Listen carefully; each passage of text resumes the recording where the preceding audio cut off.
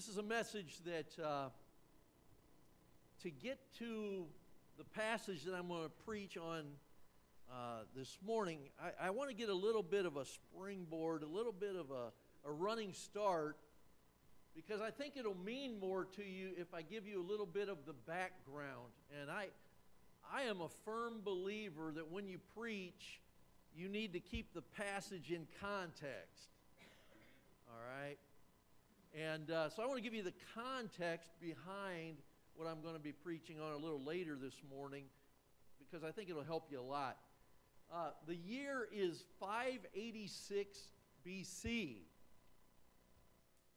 Uh, Nebuchadnezzar, who is the king of Babylon, he invades and attacks the city of Jerusalem. He has already attacked the southern kingdom of Judah, the other cities, and the city of Jerusalem is the last one left. Okay? He's already defeated all the rest of them. And so he comes to the city of Jerusalem with his forces, and uh, that particular account is given to us in Second Chronicles chapter 36, verses 18 through 23, which I want to read this morning. Second Chronicles 36, 18 to 23. He, Nebuchadnezzar, carried to Babylon all the articles from the temple of God, both large and small, and the treasures of the Lord's temple, and the treasures of the kings and the king and his officials. Now listen to this.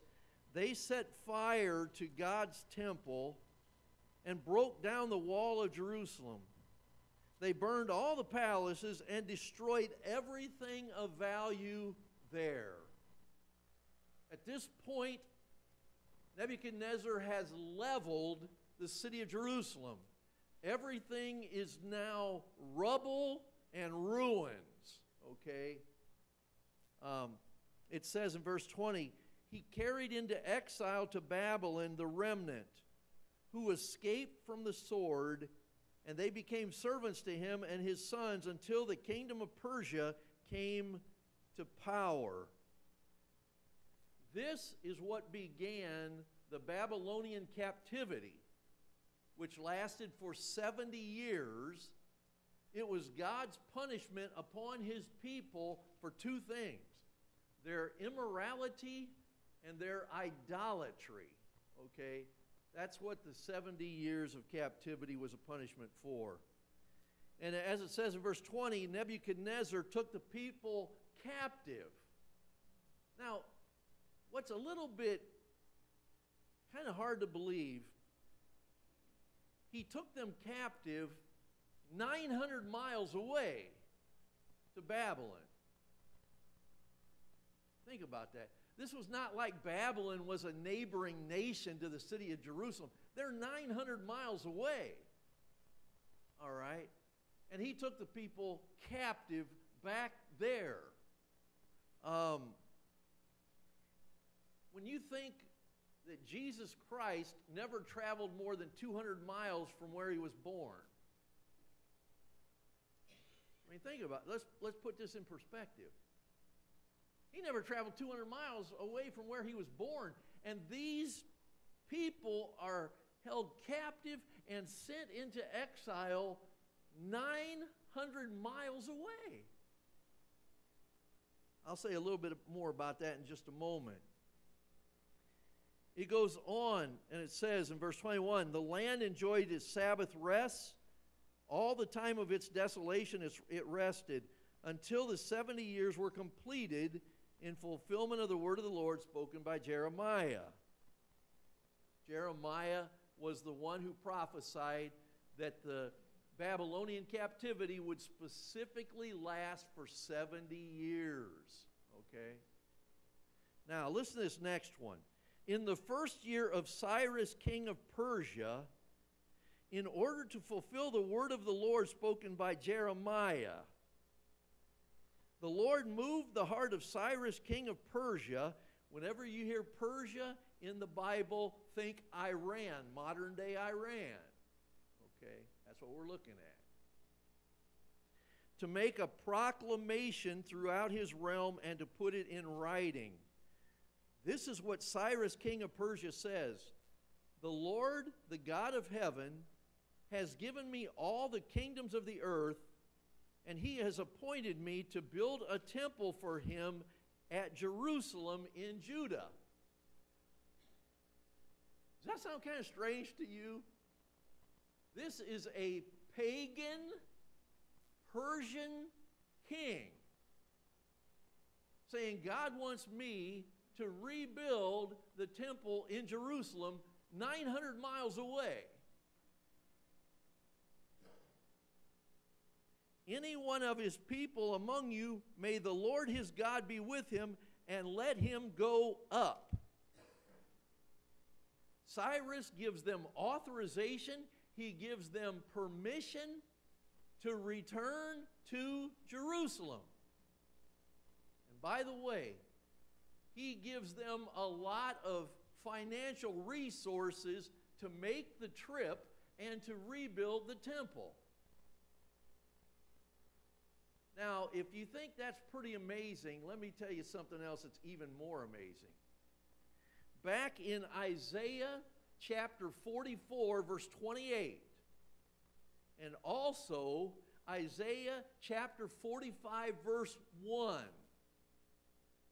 Cyrus is specifically named, he's called, God calls him my servant.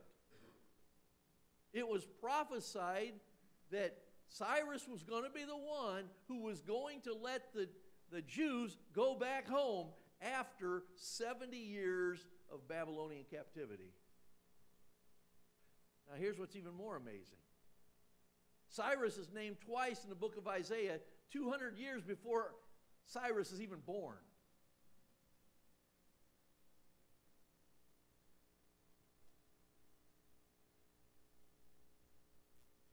I mean, think about that. It doesn't say the king of Persia is going to be the one that will allow you to return home after 70 years. It says Cyrus.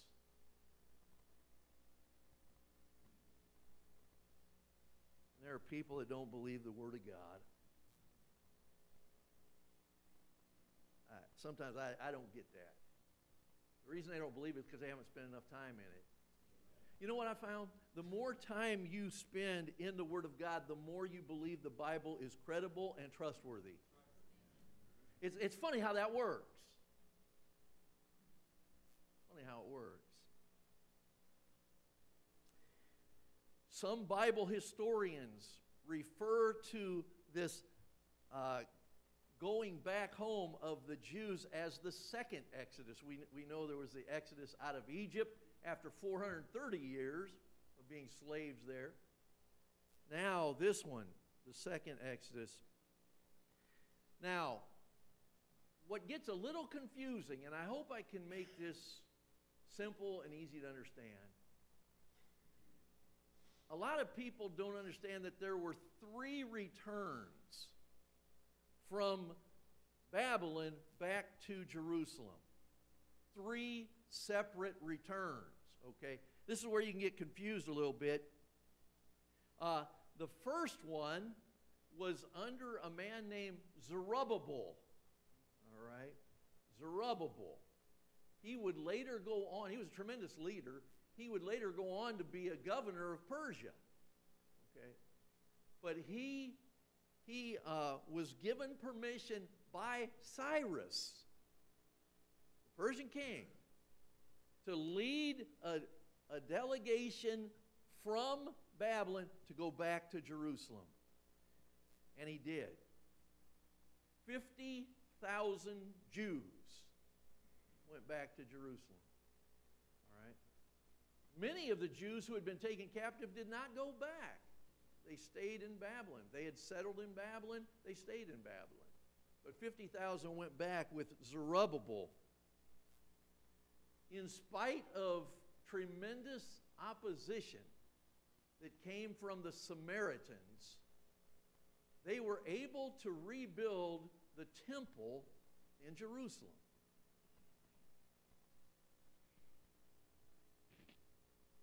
It only took them 23 years.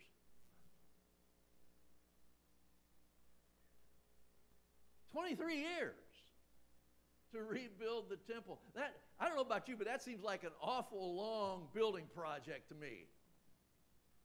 23 years, but they got the job done. They now had a temple. All right. And sometimes that temple is even referred to as Zerubbabel's temple. Maybe you've heard it referred to that way. Then we have in Ezra chapter 6, verse 15 and, and to 18, it, it does, it talks about that 23 year period. That's the first, we'll call them Company A that went back. Company B was about 80 years later. Okay? About 80 years later. That company was given authorization by King Artaxerxes the First. Now you're going to be surprised who Artaxerxes First is in just a moment, but that group was given authorization to go back the second time. That group was led, Company B was led by Ezra. Ezra. Okay? Artaxerxes the first gave Ezra and that group a chance to go back to Jerusalem, 80 years after Zerubbabel's group returned. Artaxerxes the first is the son of a man named Ahasuerus, who was king. Does that name sound familiar? Ahasuerus was Esther's husband. So Artaxerxes the first, who gave Ezra and this group of about uh, 1,500 men, not counting women and children, much smaller group, which was second to return to Jerusalem. He gave them authorization. He would have been Esther's stepson. Okay, now, now let's, let's put this together. Why do you think Artaxerxes I was so sympathetic to the Jews? Because his stepmother was a Jew.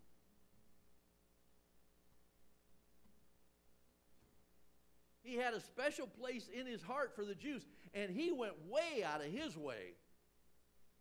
And Ezra and his group, their job was to go back to Jerusalem and rebuild the walls and the gates.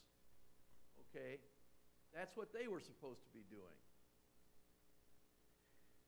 They had all kinds of opposition, okay, and persecution. And they didn't get the job done, okay, until Company C showed up. The third group, who came back 13 years after Ezra, they also were allowed, given authorization by Artaxerxes, to go back to Jerusalem after 13 years. And this company, Company C, was led by Nehemiah, the cupbearer to the king, who would go on to become the governor of Jerusalem. So, two of these leaders that led people back to return to Jerusalem were governors. Okay? We don't know how many people Nehemiah returned with. The Bible doesn't tell us that. We have no idea. Um, as we think in terms of the book of Esther. As we talked about Artaxerxes being the stepson of Esther, the events in the book of Esther occur between the first return by Zerubbabel and the second return by Ezra. That's the book of Esther right in there. Okay? These books are out of order chronologically. Esther should be first, then you'd have Ezra, then you'd have Nehemiah, if that helps you understand the, the events better. Okay? Now, as I said, their goal was to rebuild the walls and put up the gates around the city of Jerusalem. Nehemiah 6 15 and 16 say this. So the wall was completed in 52 days. When Nehemiah and Company C showed up, that wall that hadn't been built in 13 years from Ezra being there was now completed. And it says, when all our enemies heard about this, all the surrounding nations were afraid and lost their self confidence because they realized that this work had been done with the help of our God. It wasn't all dependent upon God because we know in verse 4, uh, chapter 4, verse 7 of Nehemiah, it says, The people worked with all their heart to build that wall. You see, what had not been accomplished in 94 years was accomplished in 52 days because the people worked with all of their heart and God helped them with their building. That's an incredible, incredible thing. Now, why do I say all of that? Because what I want to preach from this morning is Nehemiah chapter 8, if you want to go there, but I'm going to go back into uh, Ezra chapter 7 a little bit here. But uh, Nehemiah 8 tells us what happened one week after the walls were completed. All right? They've gone through all kinds of stuff. To rebuild the temple, there was opposition, there was persecution. To rebuild the walls, hard, hard situation. They've gone through all of this junk. And now the temple's built, the walls are rebuilt, and they've got the gates up. For the first time in 94 years, they have protection around the city, but even more specifically, they have protection around their temple. All right? And we're one week after the completion of the rebuilding of the walls and putting up the gates around the city of Jerusalem. Exodus, or excuse me, Nehemiah chapter 8, verse 1 says, When the seventh month came and the Israelites had settled in their towns, all the people assembled as one man in the square before the water gate. Now, when we think of water gate, we think of something else. Uh, this is a good water gate.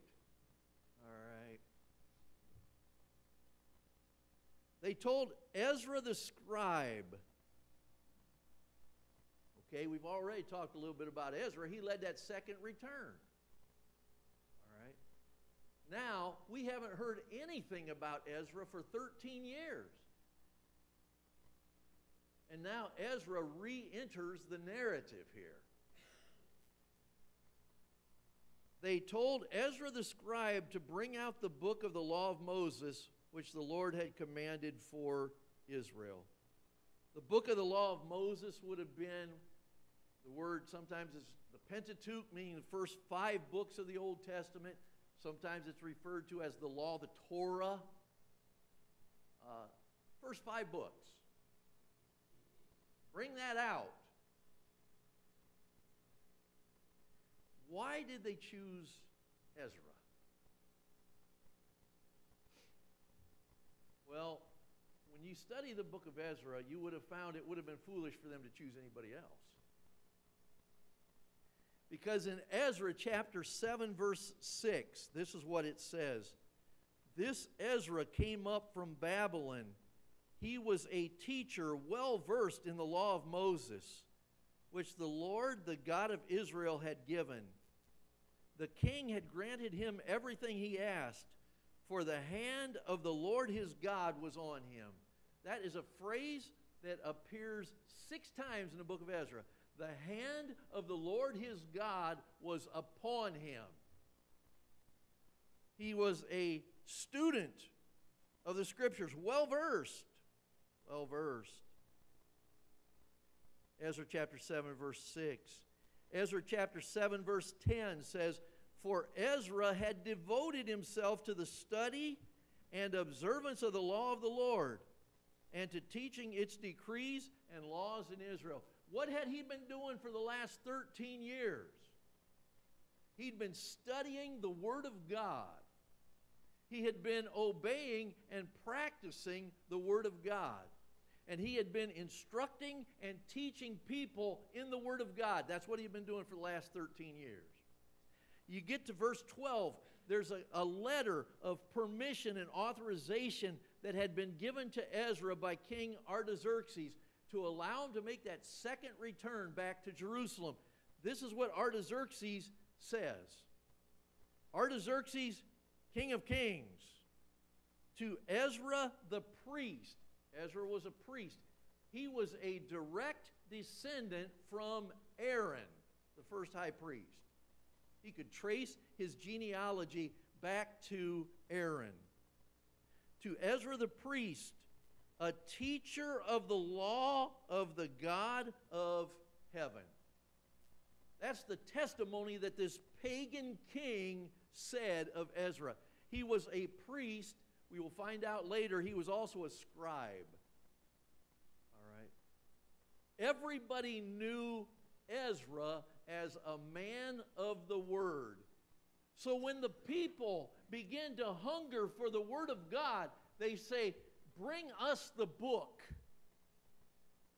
And Nehemiah says, Ezra, you're the one to do this. Do people see you as people of the book? People of the Word of God? Do people see you like that?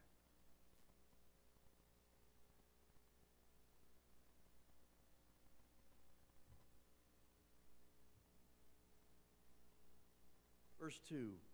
So on the first day of the seventh month, Ezra the priest brought the law before the assembly, which was made up of men and women and all who were able to understand. That would be children who could understand. All right? No babies here, no toddlers, no infants. Only those were present who could understand the reading of the Word of God. All right. Ezra read it aloud from daybreak till noon. Folks, that's six hours.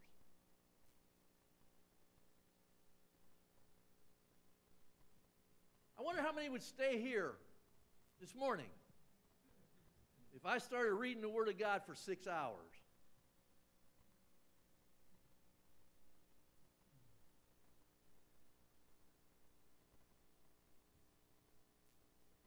I mean, I, I just, I just want you to grasp what's going on here. you see, Nehemiah 8 records for us the first revival in the Bible. And it comes about because someone begins to read the Word of God. Six hours.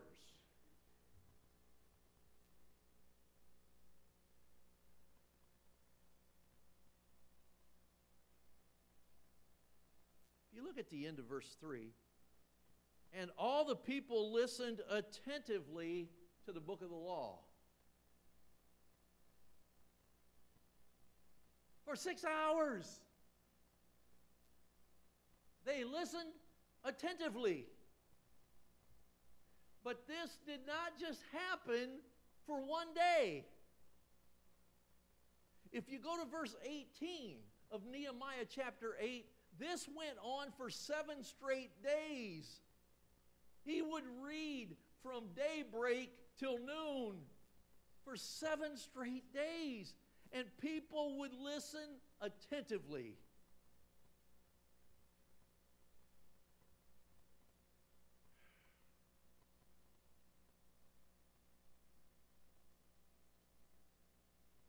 I believe there are a lot of people that will be attending churches today all around the world that would consider it a good sermon if it was short. The best sermons are short sermons. To some, the, the length of the sermon is the strength of the sermon if it's short. Six hours a day for seven days. Now, where I come from, I'm not real good at math, but that's 42 hours a week of Bible reading, and the people listened attentively. How attentive are you to the reading and the preaching of the Word of God? You see, I believe that attitude and appetite will take us a long way down the road on our spiritual journey. Our attitude and our appetite. Now, let me share something with you. I'm 62 years old. I have never had anyone come up to me and complain about a basketball game that they went to that went into overtime. In the NCAA tournament, by the way, going into last night's late games, which that's, I'm a morning person, that's way past my bedtime. There had already been five overtimes in the NCAA tournament. And those fans think that's great because they get their money worth. But when we go to church, many people, the shorter the sermon, the better. They even have a term now. Pastors preaching sermonettes. Sermonettes. I'm talking about six hours. One day for seven days, listening attentively to the Word of God.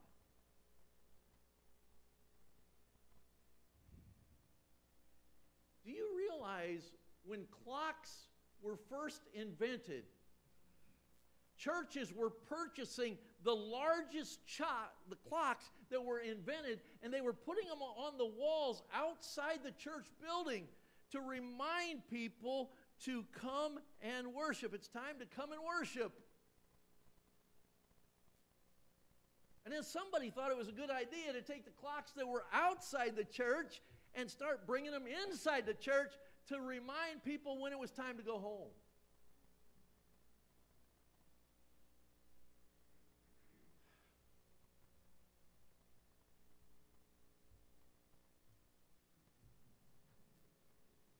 I'm telling you, folks, we don't get it. We are so dictated by the clock and schedules that in many cases, I don't even know if the Holy Spirit could move among us because we've got everything so dictated and controlled.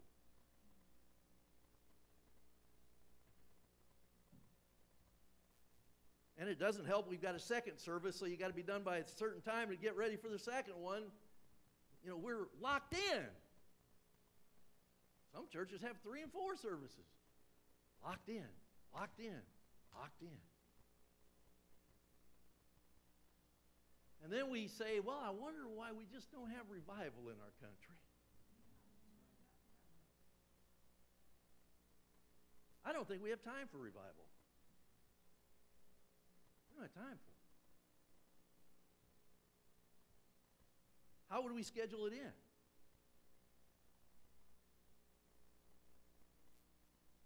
Derek Kidner is a tremendous Old Testament Hebrew language scholar. He says this This day was to prove a turning point. From now on, the Jews would be predominantly a people of the book. Right here. Turned it all around. Turning point. Turning point. Verse 4 Ezra the scribe stood on a high wooden platform built for the occasion. Now, they built a stage, a platform for the reading of the Word of God. We build stages today for bands. All right? For the Word of God. There was so much respect. You know, if you go back and you look at some of uh, some of the the history of the church, if you go back to like the 18th century, where you had John Wesley, uh, 18th century, one of the great leaders of the Methodist Church.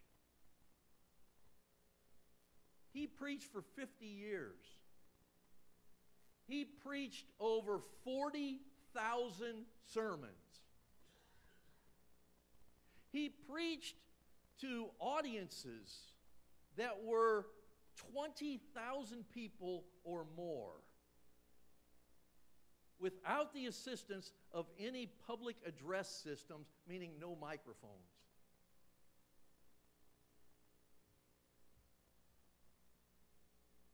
Ezra. We know that there were at least 50,000 people that came back in the first one. This could have been a group in the large thousands. And Ezra stands on that stage. He reads, just gets up there with his scroll his scroll. Now keep in mind, scrolls were extremely, scrolls of the Bible were extremely expensive. The common person couldn't afford them. There would only be one or two people that could afford those things, and you know, that's why they said, Bring us the book. We don't have it ourselves. We got one copy somewhere, of this scroll. Bring it out here and read it to us because we hunger for the Word of God.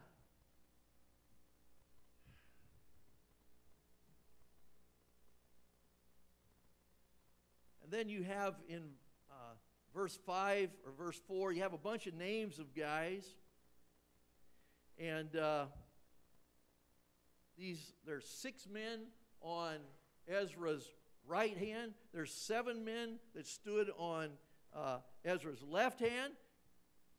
Usually it's believed that they were leaders representing the tribes. They're all named there. I'm not going to go over all those names. Verse 5 Ezra opened the book all the people could see him because he was standing above them. And as he opened it, the people all stood up. Standing up was a, a sign of respect and reverence for the Word of God. Uh, one of my associate pastors, Pastor Bob Smith, I'll never forget whenever I would give him a chance to preach at Harvester, whenever he read Scripture, he would say, Out of respect for the Word of God, would you please stand? You see, you, you stand for things or people that you respect. The President of the United States comes into a room, what happens? Everybody stands. A judge comes into the courtroom, what happens? The bailiff says, All rise. All right. I believe that these people stood for six hours while Ezra read the Bible to them. Some of you think it's a little long to stand with four or five songs in the worship team. Why do I say that? Look at verse 7. Look at verse 7. It says, instructed the people in the law while the people were standing there. They were still standing.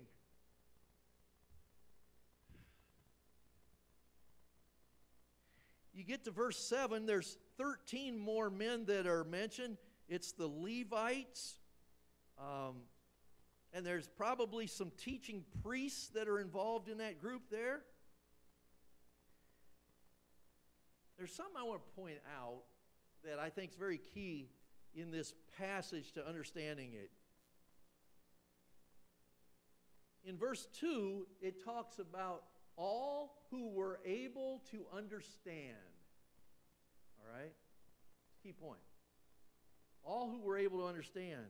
In verse 3, it talks about men, women, and others who could understand. In verse 8, so that the people could understand what was being read. In verse 9, it talks about those, the Levites, who were instructing the people. In verse 12, it says, They now understood the words that had been made known to them. They understood. There's this idea of the whole concept here is that the people wouldn't just hear the Word of God, but they would understand what was being read. Now, why was that a problem?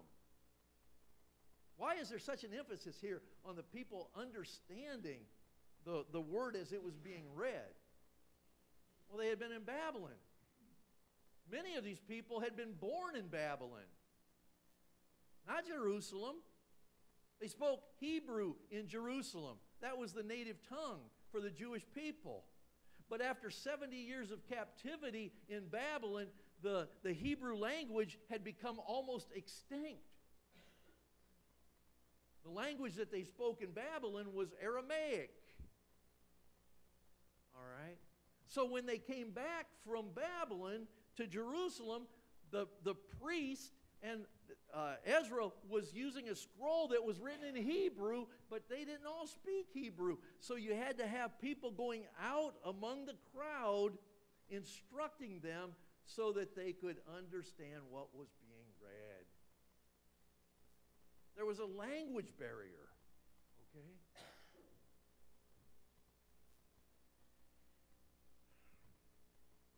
As I said earlier in this message, this is the first recorded revival in the Bible. Some of you might ask, well, how long did it last, Pastor Dave? Not very long, unfortunately.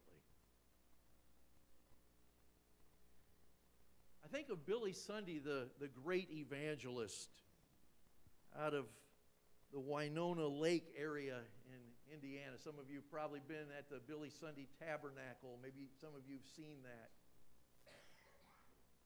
Billy Sunday, the former professional baseball player turned evangelist. And nobody preached like Billy Sunday. If you've ever read any of his sermons, they're, they're amazing.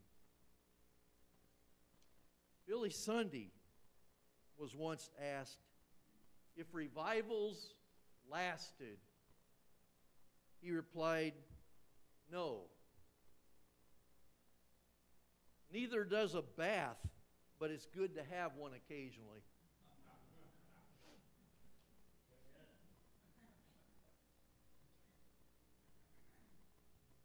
Revivals involve people. We're fickle. Some of you remember how after 911, people were going to church like crazy two weeks. That's what the, all the attendance figures showed. It lasted for about two weeks.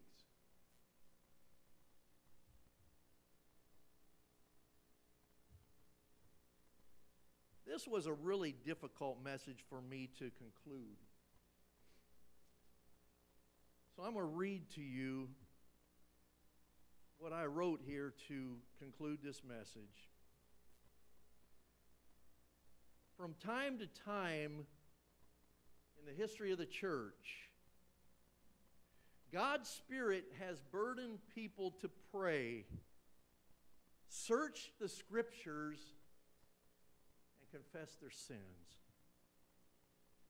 From these things, He has seen fit to bring fresh life to His people. It happened in Nehemiah's day. And it can happen again in our day. Let's pray. Father God, I thank you for speaking first to me this week so that I could speak to my people.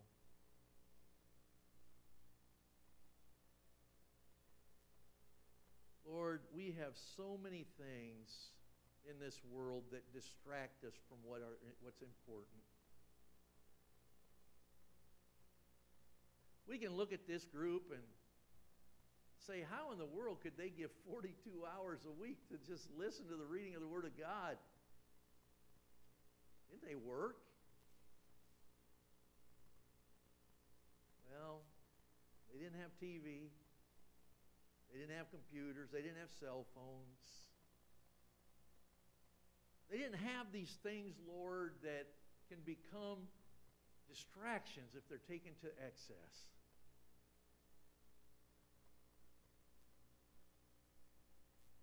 So, Lord, I pray that you will help each one of us with our own spiritual attitudes and appetite.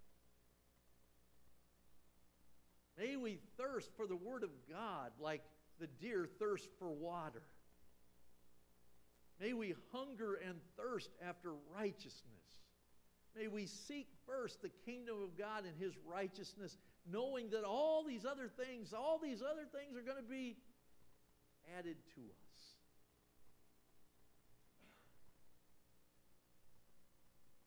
Help us not just to pray for revival or talk about revival, but help us, Father, to be willing to pay the price for revival.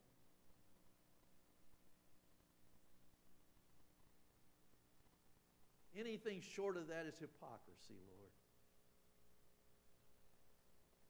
It's in Jesus' name I pray. Amen. You are dismissed.